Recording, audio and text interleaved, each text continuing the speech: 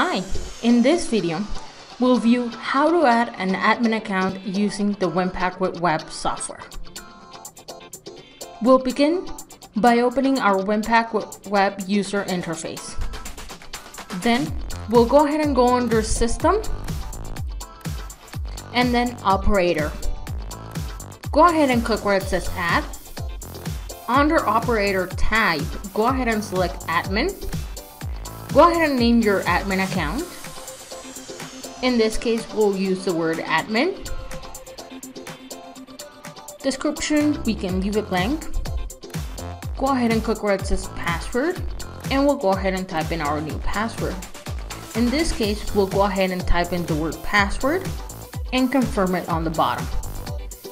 Once we have the password added, we can go ahead and hit OK on the bottom and we'll see that our account has been added under the operator window. To verify this account, we can go ahead and log out of the WIN-PAK software.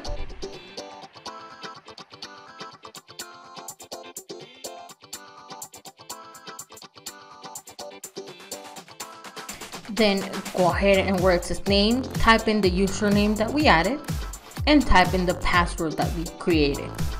Then we'll go ahead and hit connect We'll wait for the account to be logged in and once it logs in, we'll see all our menus are available. For more information and videos, please visit our webpage honeywelldiscovertraining.com.